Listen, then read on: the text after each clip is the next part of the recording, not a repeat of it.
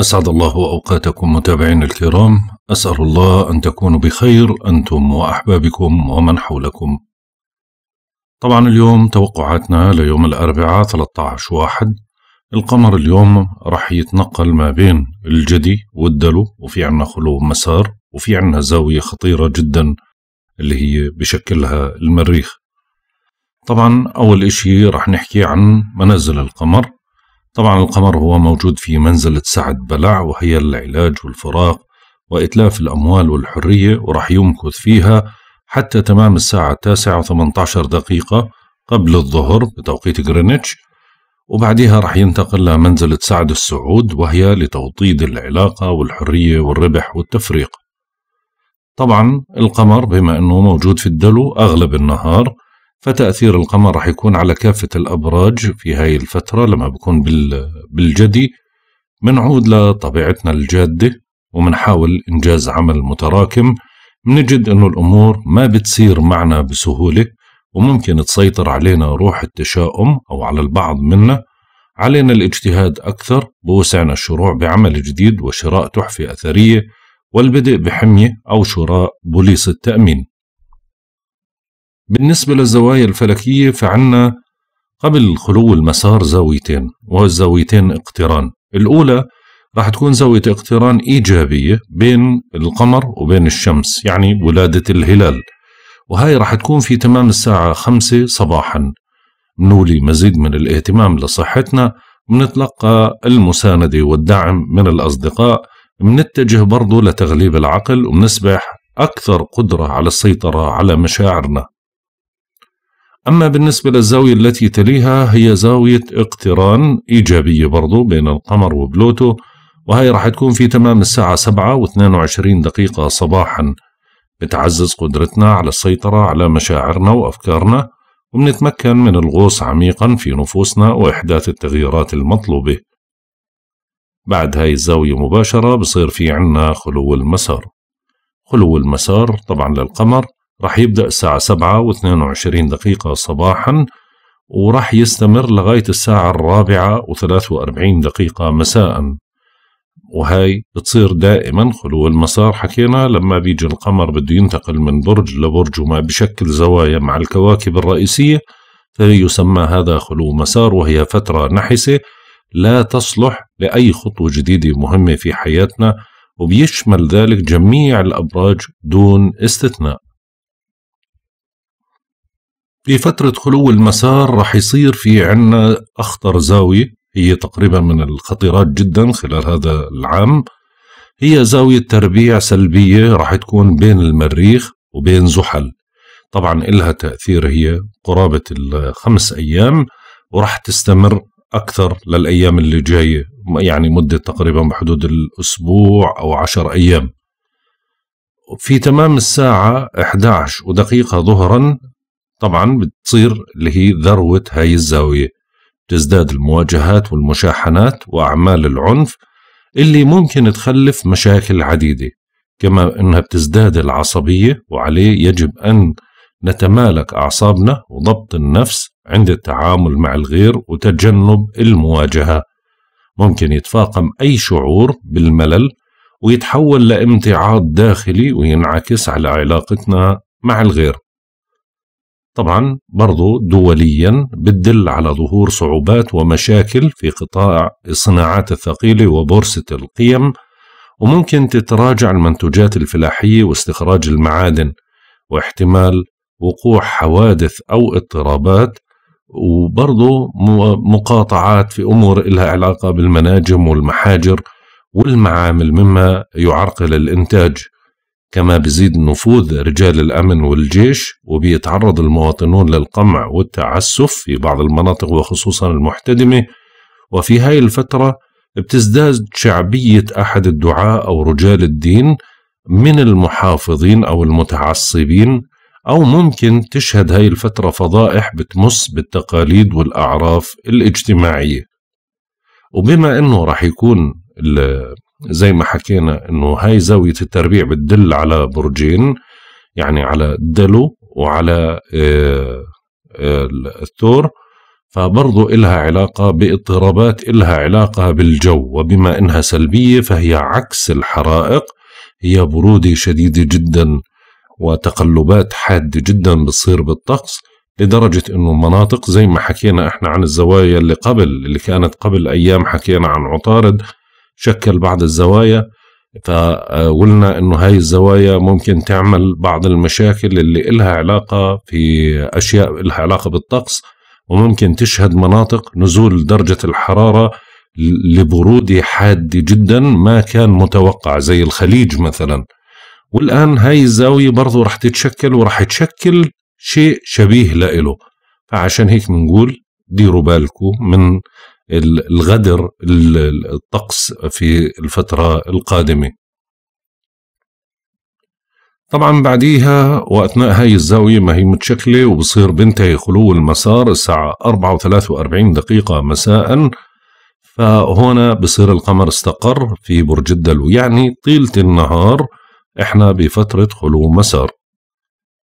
في ساعات المساء بتبلش معنا الزوايا اللي هي أول زاوية راح تكون زاوية اقتران سلبية بين القمر وبين زحل وهي راح تكون في تمام الساعة عشرة وعشر دقائق مساء منواجه مصاعب وعراقيل بتتطلب منا أن نبذل جهد لنتغلب عليها بأنفسنا وأن لا نعتمد على الحظوظ.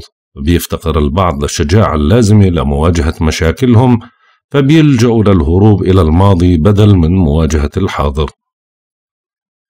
أما بالنسبة للزاوية التي تليها برضو هي زاوية سلبية زاوية تربيع سلبية بين القمر والمريخ. وهي راح تكون في تمام الساعة عشرة وثمانية وعشرين دقيقة مساء. بتخلق لدينا شعور بالملل من أي عمل روتيني. فمنكون بحاجة للهدوء والتحلي بالصبر في أي مسعى منقوم فيه. يفضل أخذ فترة من الراحة لاستعادة نشاطنا من جديد واللي بيكون محبط عاطفيا بثور ثورة عارمة من الغضب. طبعا خلو المسار القادم بما أنه القمر رح ينتقل للدلو فرح يكون يوم الخميس 14 واحد بيبدأ في تمام الساعة 9 و28 دقيقة صباحا وبيستمر حتى يوم الجمعة أي حتى تمام الساعة 10 و16 دقيقة مساء لا ينتقل بعدها لبرج الحوت. يعني بمعنى آخر رح يمضي معنا نهار وليل ونهار لنصل للمساء خلو مسار طويل ويعتبر من أطول خلوات المسار خلال هذا الشهر. أما بالنسبة لعمر القمر القمر ولادة الهلال اليوم هو 29 يوم في تمام الساعة الرابعة و54 دقيقة صباحا بيصبح 30 يوم نسبة الإضاءة 0% أما بالنسبة لمزاج الكواكب وطباع الكواكب لهذا اليوم الشمس في الجدي حتى يوم 19 واحد مزاجها سعيد بنسبة 30% فقط. أما بالنسبة للقمر في الجدي والدلو وحكينا أنه فترة خلو مسار طول النهار وزوايا سلبية حادة رح تكون فالقمر رح يضل في الدلو ليوم 15 واحد اليوم منتحس بنسبة 10% أما بالنسبة لعطارد في الدلو حتى يوم 30 واحد منتحسة بنسبة 40% الزهرة في الجدي حتى يوم واحد اثنين سعيدة بنسبة 70% أما بالنسبة للمريخ اللي في الثور ولغاية أربعة ثلاثة وبشكل زاوية التربيع طبعا سلبية جدا فهو منتحس بنسبة 75% أما بالنسبة للمشتري في الدلو حتى يوم 13 خمسة منتحس بنسبة 50% بالنسبة لزحل برضه في الدلو حتى يوم 23 خمسة فهو منتحس بنسبة 10% أورانوس في الثور بيتراجع حتى يوم 14 واحد منتحس بنسبة 10% أما بالنسبة لنبتون في الحوت حتى يوم 25 ستة هو سعيد بنسبة 15% وبالنسبة لبلوتو في الجدي حتى يوم 27 أربعة هو سعيد اليوم بنسبة 15% وصلنا للتوقعات اليومية. برج الحمل. يوم مناسب للي بيبحث عن عمل واللي بيعمل بينجح بالدفع بمصالحه وبيحافظ على إنجازاته القائمة. هدئ من روعك وما تنفعل وتجنب مخالفة القوانين وإحرص على استقرارك. اتجنب الخلافات والمجازفات الشائكة واحرص على لجمها إذا شعرت ببدايتها. برج الثور. بتنشطوا في مجال الدراسة والسفر والاتصالات لا سيما البعيدة تشعروا بقوة العاطفة وتجاوب أحبائكم معكم. ممكن تذهب في رحلة أو تروج لعمل أو تحصل على معلومات ما بتتوقعها. بيكون عندك نجاح وحظ في حياتك العاطفية والعائلية ولكن بدك تحذر من العصبية وردات الفعل السلبية. برج الجوزاء. بتعيدوا تنظيم أموركم المالية المشتركة والفرصة متاحة لمكسب مالي. مع هيك بدكم تخففوا من النفقات المتصاعدة. سارع في تهدئة الأجواء. هاي فترة مناسبة للاطلاع على آراء الغير. ممكن تتلقى مساعدة أو تعاطف عليك فقط أنك تتحلى بالليونة والتفكير الموضوعي. برج السرطان. يوم مناسب لتعزيز شراكاتكم سواء في مجال العمل أو العاطفة. بوسعكم إتمام خطبة أو زواج أو توقيع عقد تجاري ولكن احذروا من خلو المسار. في هاي الفترة بكون في نوع من أنواع السلبية وبتكون ضاغطة شوي وما بينفعك سوى الصبر والمرونة. ممكن تتعرض لمضايقات أو خلافات. برج الأسد. أنجزوا ما بوسعكم من العمل المتراكم دون المبالغة في ذلك. انتبهوا لغذائكم وراحتكم. كون منظم وأحسن إدارة عملك وحاذر من الجدال مع المعاونين. وما تهمل صحتك. لا تأجل ولا تماطل عمل حتى لو اضطررت للعمل لساعات إضافية. برج العذراء. بتشتد رغبتكم في التقرب من أحبائكم وتعزيز العلاقة معهم. ما بيتخلى الحظ المالي عنكم وبتنفرج أساريرك وبتعيش لحظات سعيدة نسبيا. فترة إيجابية ومناسبة لطرح الأفكار والارتباط. فلا تهمل الواجبات اتجاه العائلة والأحباء. حاول أنك تصحح الأخطاء خلال هذا اليوم.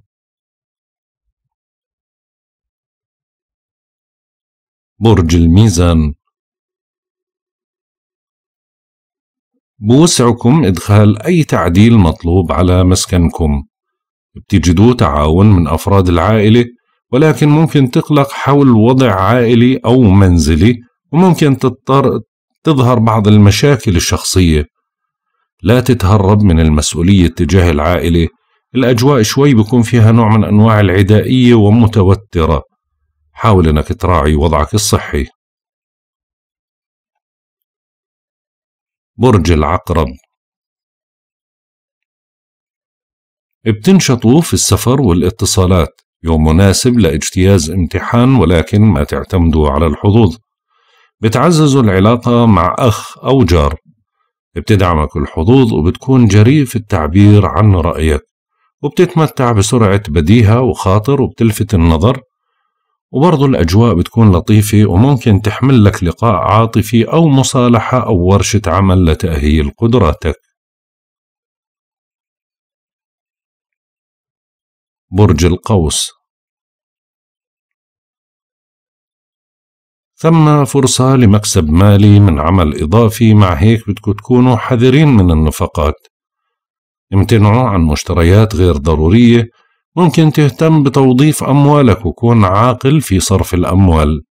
بتهتم لمناقشة دعم مالي أو قرض أو ممكن تفكر في بعض الاستثمارات والتوظيفات.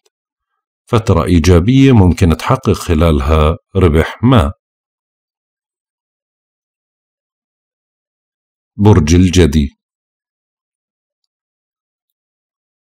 ثقتكم بأنفسكم كبيرة وبعمكم النشاط.